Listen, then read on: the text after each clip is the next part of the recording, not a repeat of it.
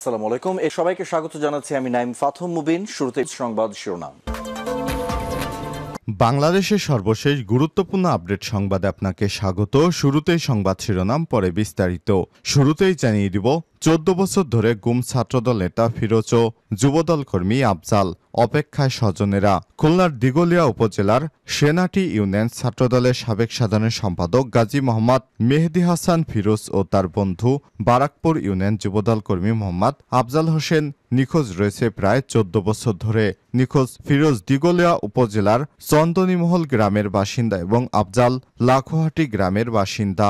দীর্ঘ চোদ্দ বছরে এখনও তারা ফেরত আসেনি। তাদের স্বজনরা তাদের অপেক্ষায় এখনও এরপর জানিয়ে দিব, প্রশাসনে এখনও আওয়ামী লীগের দোসরেরা বহাল তবিয়তে বললেন মির্জা ফখরুল।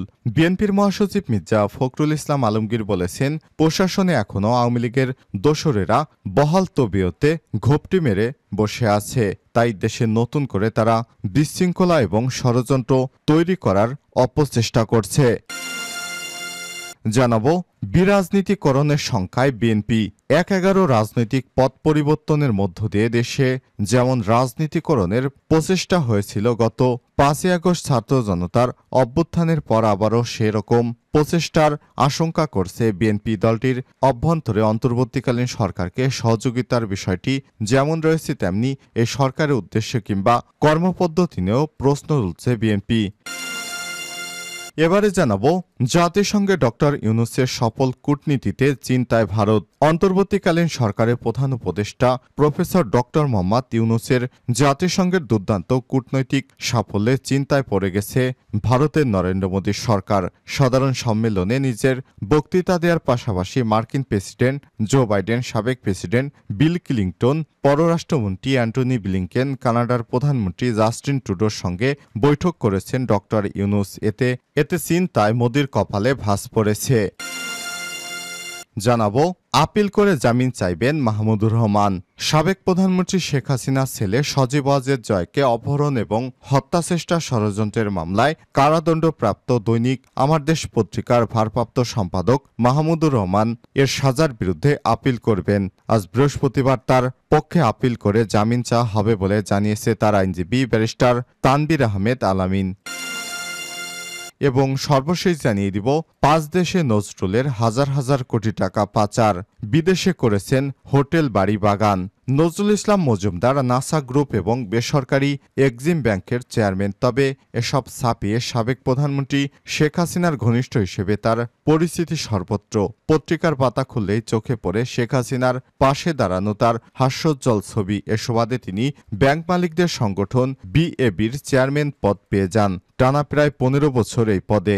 এই পদে যাওয়ার পর তাকে আর পেছনে ফিরে তাকাতে হয়নি, কারণ তিনি চাঁদাবাজির মাধ্যমে ব্যাংক দেউলিয়ার মাধ্যমে মাফিয়াগিরির মাধ্যমে বিদেশে হাজার হাজার কোটি টাকা বিদেশে পাচার করতে সক্ষম হয়েছেন। শেখ হাসিনা পালিয়ে যাবার পর এই কুচক্রিকে গ্রেপ্তার করেছে র্যাবের সদস্যরা। দুবাই, লন্ডন এবং হংকং ও সৌদি আরবে অডেল সম্পদ, হংকংয়ে পাচারকৃত অর্থ লন্ডন থেকে ফেরত আনা হয় রেমিটেন্স দেখিয়ে শেখ হাসিনার সঙ্গে তোলা ছবি ভাঙিয়ে ব্যাংক সেক্টরে ব্যাপক চাঁদাবাজি। দানবীর সেজে চাঁদাবাজির টাকা দিতেন প্রধানমন্ত্রী ত্রাণ তহবিলে। এভাবেই তিনি লক্ষ লক্ষ কোটি টাকা বিদেশে পাচার ও দেশে অডেল সম্পদের মালিক হয়েছেন। প্রিয় দর্শক, এতক্ষণ শুনছিলেন সংবাদ শিরোনাম, এবারে বিস্তারিত। তবে তার আগে বন্ধুরা, অনুরোধ থাকবে, এই সংবাদটিতে একটি লাইক দিন। এই চ্যানেলে আপনি নতুন হয়ে থাকলে আমাদের সংবাদটি দেখতে দেখতে চ্যানেলটি সাবস্ক্রাইব করে রাখুন। কমেন্ট করে আপনার মূল্যবান মতামত জানিয়ে দিন। জানিয়ে দিন বন্ধুরা, আপনি বিশ্বের কোন দেশ থেকে বা বাংলাদেশের কোন স্থান থেকে আমাদের সংবাদটি দেখছেন এবং শুনছেন? এবারে বিস্তারিত। চোদ্দ বছর ধরে গুম ছাত্রদল নেতা ফিরোজ এবং যুবদল কর্মী আফজাল অপেক্ষায় তার স্বজনেরা। খুলনার দিগলিয়া উপজেলার সেনহাটি ইউনিয়ন ছাত্রদলের সাবেক সাধারণ সম্পাদক গাজী মোহাম্মদ মেহেদি হাসান ফিরোজ ও তার বন্ধু বারাকপুর ইউনিয়ন যুবদলের কর্মী মোহাম্মদ আফজাল হোসেন নিখোঁজ রয়েছেন প্রায় চোদ্দ বছর ধরে। নিখোঁজ ফিরোজ দিগলিয়া উপজেলার চন্দনীমহল গ্রামের বাসিন্দা এবং আফজাল লাখোহাটি গ্রামের বাসিন্দা।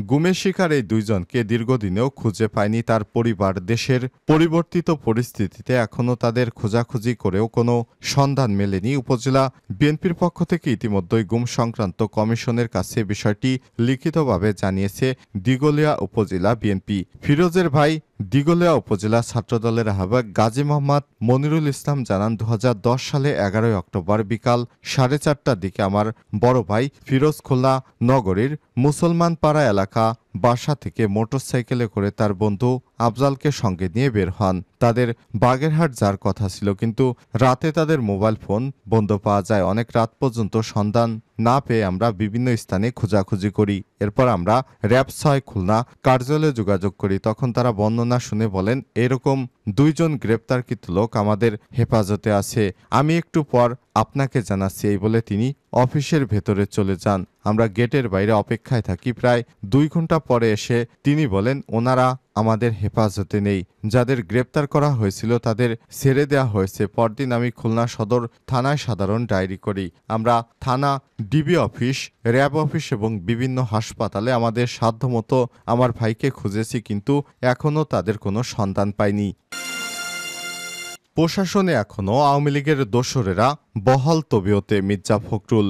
বিএনপির মহাসচিব মির্জা ফখরুল ইসলাম আলমগীর বলেছেন, প্রশাসন এখনে আওয়ামী লীগের দোসরেরা বহাল তবিয়তে কাজ করছে বলেই দেশে নতুন করে শুরু হয়েছে ষড়যন্ত্র।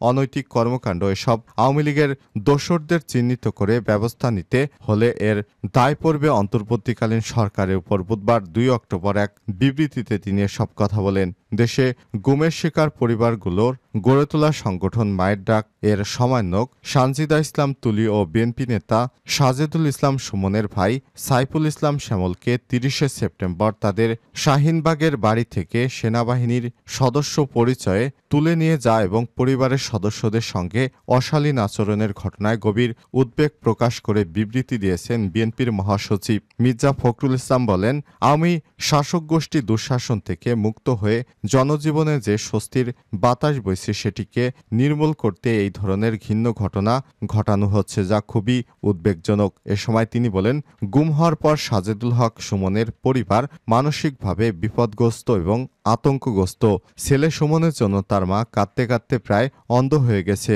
গুম হওয়ার এত বছর পরও আবার সেনাবাহিনীর পরিচয়ে তাদের বাড়িতে অভিযান চালিয়ে সাজিদুল হক সুমনের ভাই সাইফুল ইসলাম শ্যামলকে তুলে নিয়ে যাওয়ার ঘটনায় পরিবারটি আতঙ্কিত হয়ে পড়েছে। বিএনপির মহাসচিব আশা প্রকাশ করে বলেছেন, দেশকে অস্থিতিশীল করার সঙ্গে যারা জড়িত, তাদেরকে খুব শীঘ্রই অন্তর্বর্তীকালীন সরকার গ্রেপ্তার করতে জোরালো ভূমিকা পালন করবে বলে আশাবাদ ব্যক্ত করেন বিএনপির মহাসচিব।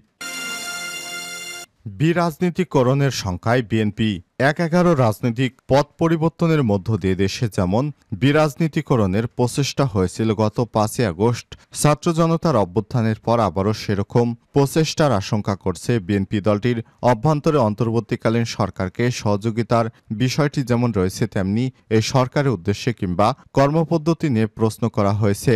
একদিকে নির্বাচন কিংবা রাষ্ট্র সংস্কার নিয়ে অন্তর্বর্তীকালীন সরকারের নানামুখী বক্তব্য, অন্যদিকে বিএনপির বিরুদ্ধে কোনো কোনো পক্ষের পরিকল্পিত ক্যাম্পেইন নিয়ে দলটি কিছুটা হলেও শঙ্কায় পড়েছে। গত মঙ্গলবার বিএনপির স্থায়ী কমিটির বৈঠকে সব বিষয়ে উঠে এসেছে বলে দলীয় সূত্র থেকে জানা গেছে। বৈঠকে শীর্ষ নেতারা কথা বলেছেন, বিরাজনীতিকরণ সহ বিভিন্ন প্রসঙ্গ নিয়েও। এ বিষয়ে মহাসচিব মির্জা ফখরুল ইসলাম আলমগীর নয়া দিগন্তের সাথে আলাপকালে বলেছেন, পাঁচই আগস্টের পর কোনো কোনো পক্ষ গণতন্ত্রের লড়াই থাকা বৃহৎ দল বিএনপির বিরোধী বক্তব্য দিচ্ছে। এর জাতীয় এবং আন্তর্জাতিক প্রেক্ষিত রয়েছে।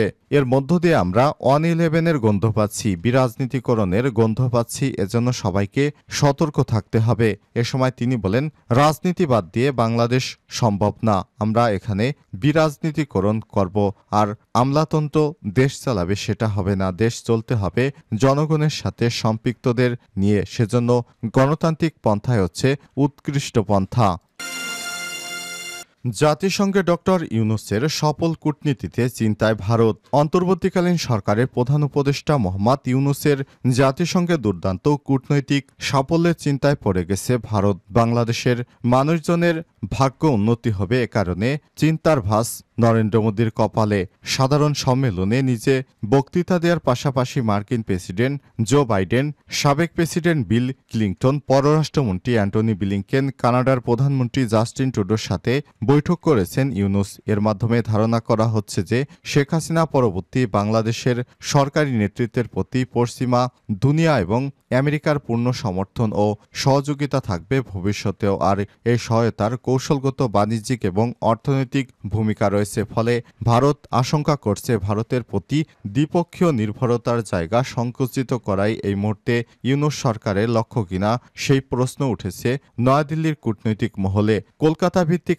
আনন্দবাজার পত্রিকায় প্রকাশিত এক প্রতিবেদনে সব তথ্য জানানো হয়েছে। আনন্দবাজার পত্রিকার প্রতিবেদনে শুরুতে ভারতের পররাষ্ট্র দপ্তরের ক্ষোভের কথা উল্লেখ করা হয়েছে, বাংলাদেশের মাটিতে সংখ্যালঘু সম্প্রদায়ের উপর নিপীড়ন রুখতে নতুন অন্তর্বর্তীকালীন সরকার উপযুক্ত ব্যবস্থা নিচ্ছে না বলেও ক্ষোভ বাড়ছে সাউথ ব্লকে। সে কারণে মোহাম্মদ ইউনুস চাইলে জাতিসংঘের সাধারণ সম্মেলনে তার বৈঠকে প্রধানমন্ত্রী নরেন্দ্র মোদীকে এড়িয়ে গিয়েছিলেন বলে সূত্রের খবরে দাবি করা হচ্ছে। তবে মোদীর সাথে বৈঠক না হলেও আমেরিকার সিলমোহর নিয়ে সফলভাবে আন্তর্জাতিক দৌত্য সারলেন অন্তর্বর্তীকালীন সরকারের প্রধান উপদেষ্টা প্রফেসর ডক্টর মোহাম্মদ ইউনুস যা দিল্লির আশঙ্কা বাড়িয়েছে বহুগুণ। তারা এখন চিন্তা করছে যে যুক্তরাষ্ট্রের যদি সহায়তা পায় বাংলাদেশ, তাহলে ভারতের জন্য খুবই উদ্বেগের বিষয়।